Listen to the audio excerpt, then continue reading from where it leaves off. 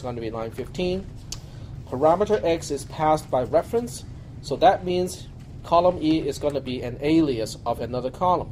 It's aka column which? Column C. Very good. So, so far things are fairly easy. It's not any different from the previous program. Then we continue execution inside the subroutine um, relay, and which only has two lines to execute, line 8 and line 9. Line 8 is invoking another subroutine. As a result, we have to allocate another return line number column. And this time, the invocation is on line 8, which means when we are done, we go back to line 9. And then we have to reserve another column for the parameter n. Parameter n is also passed by reference. So here is the big question. The big question is, what do I put in column G? It appears that we have two choices because we can either say that this is a reference to column E, which in return is a reference to column C, or we can say this is a reference to column C straight right away. So the question is, for efficiency, for from the efficiency point of view, which way is better? Just go all the way straight to the to the to the object, right? And that's exactly what it is. Okay. So in this class, we say that column G is a reference or an alias of column C instead of an alias of column E. Yep. Okay, on, line on uh, column number, I mean row th- thirteen on three, say uh, the line number is seventeen and the return line y y w as opposed uh, question mark. Shouldn't the W be a question mark at the pre, not at the uh, post? Um, okay. Which row are we talking Uh, about? I'm talking about uh, row three and four in column C. Why W a question mark at the post when it goes back to the post? Why, why isn't W up, up there at the uh, line uh, in row one and a, and a question mark at row two? You mean why do I allocate a column here and make it W? Yeah, yeah. Because W is a local variable. It is local to subroutine main. Oh, okay. And remember, a local variable does not exist until the subroutine starts execution. And you have one version of a local variable per invocation. Okay. Okay? So those two things kind of go hand in hand. You know, a variable, a local variable exists only when a subroutine is invoked. And every invocation has its own copy of that same local variable. Okay? The important part, though, in this case, is this co- is this cell here. N is a path is a passed by reference parameter, and what I'm passing to it is the reference of something else. It goes straight to the original column. It does not go back to the other alias. Okay, now that is important. And once again, it seems like we are nitpicking little things, you know, that does not seem to be important, but it really is important because that's exactly what any programming language will do when you pass a pass by reference parameter again by reference to something else. Okay? Are we doing okay so far with this concept? If you need to remember this, you just have to remember it, it. This is the most efficient way of doing things because otherwise you have to reference to another reference and then you have to dereference again. Look at this as making a copy of the call number. Okay? Instead of having a call number that is the call number of a call number, can you have a call number of a call number? Yes, you can. Not in not in this library. Oh, when you get to CISP 310 or C, uh, at the end of 360, you may actually get to that part, but not in, in this class. Okay, that's a to- entirely different concept. It's called the concept of pointers, not passing by reference, which are two different things. Okay, so now that we are in subroutine add one, we have that one single line that we have to do something about, which is line three. Line 3 says we want to find out what is n, and we want to add 1 to it and store back into, into n. So we look up n, which is column G. n says, oh, I'm an alias of column C. And column C has a value of 5. 5 plus 1 is 6. What am I going to do with 6? Well, we, we, we want to store it to the left-hand side, which also specifies n. Once again, we look up n, n is column G. G says it is a reference of column C. So that means when I store the value 6, I change column C instead of column G. Column G does not get changed. Yep. When, you declare uh, a very, it's, a, it's actually a local variable. The reference variable is actually a local variable that exists in the block of code. Correct. Well, you will see what happens to W when we're all done with this, okay? Are we okay so far up to row 10 of the trace? After line, uh, line 3 in the code, we go to line 4, which is the usual thing. We look up the return line number. We know that we have to continue on line 9. Then we deallocate everything that is associated with this invocation. Then we go back to line 9. Line 9 is also the end of a subroutine, doesn't really do anything useful at this point. We look up the return line number, it goes all the way back to line 15. Then we have to deallocate the columns that are involved with this invocation. And now we continue execution on line 15. Line 15 by itself is also the end of a subroutine, so we have to look up the return line number, which is post in this case, and then we deallocate everything related to that invocation. So in the end, what happened to the value of 6? It's gone. Yep, there's nothing left of the only thing that got changed. If I did not print it out, then this program is pointless. There's nothing that you can see from the outside that it did anything useful.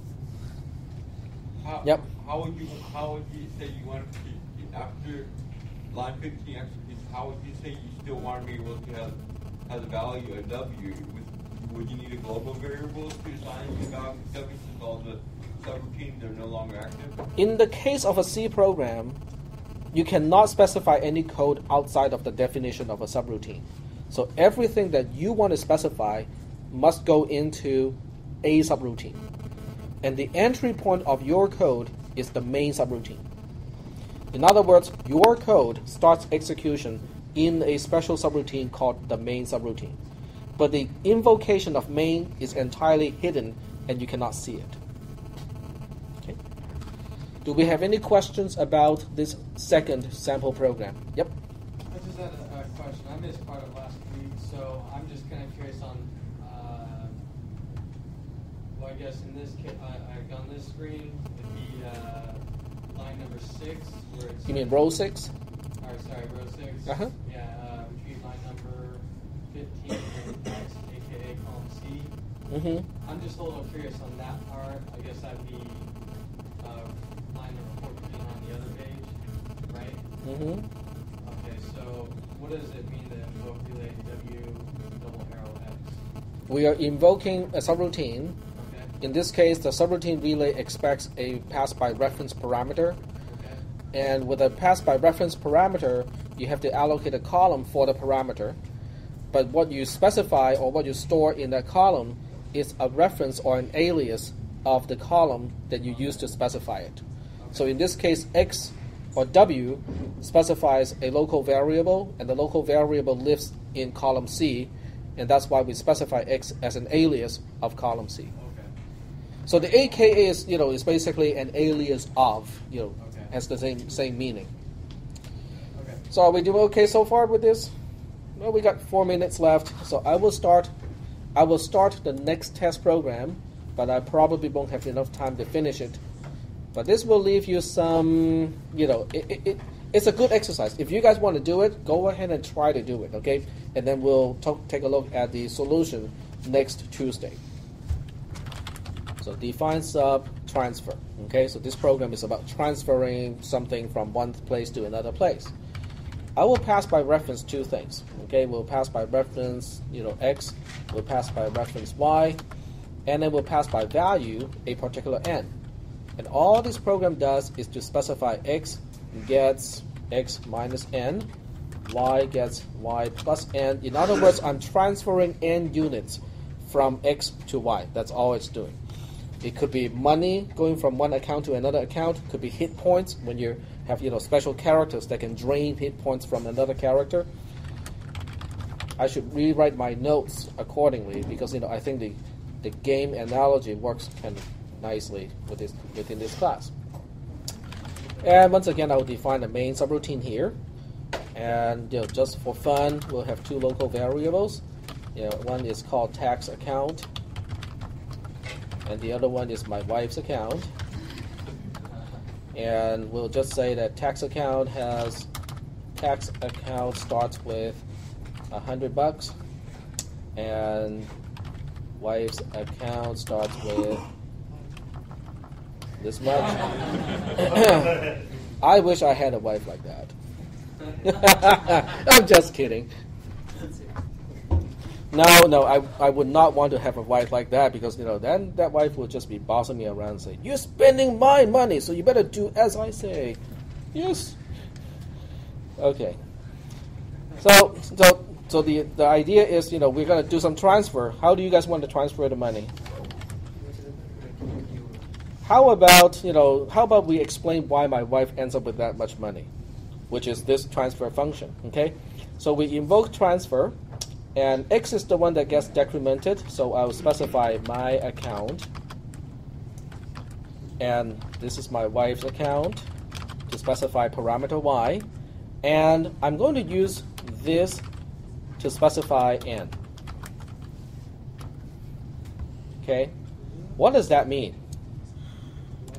She's gonna get all your money. She got all the money that I have. Yep, exactly. And define sub. Okay, so that's one thing. Okay, now if you can track this line, you know, and figure out what it does, figure out what this line is going to do next. Okay, because you know the next one is actually going to be a little bit more interesting. So insert row, copy, paste. Because this time I will specify something like this. What if I specify wife's account twice? What if I specify my wife's account for both parameter x as well as parameter y? This is called this is called aliasing, okay? Because from the perspective of the subroutine transfer, both parameter x and parameter y will refer to the column that corresponds to my wife's account. What do you think will be the effect of this? Well, let's let's specify a particular amount because by this time I have no money left. So let's not specify Tak's account because you know that will for sure specify not no transfer, right? Because my account is down to zero at this point. So let's specify you know 200 bucks. Okay. In other words, I'm transferring 200 bucks from my wife's account to my wife's account. Logically speaking, what is it actually going to do? Okay. You know, from the program's perspective, when you look at the parameters, what do you think x and y will specify, and also what will actually happen, you know, for the second invocation of transfer. Okay, so when you have time, you know, go ahead and do this. You know, probably after the exam on two, on Thursday. But this is a good exercise. This is a really good exercise to see if you understand all these concepts. Vote. main.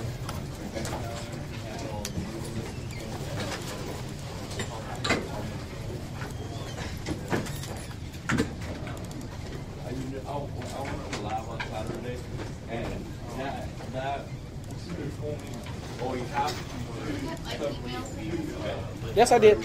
Yes. I replied to it too. Oh, I didn't get a chance to check my email yesterday, so. I replied to it, but I cannot remember what it was about. I'm sorry. Oh. But I know I replied to it already. Okay, I was wondering if we could do it just like we did the last time. Oh, yes. The answer is yes. Yes. Okay. Yep. So we can do exactly the same thing. Great. All right, off the record. Yes. Well, let me stop the recording if it's off the record.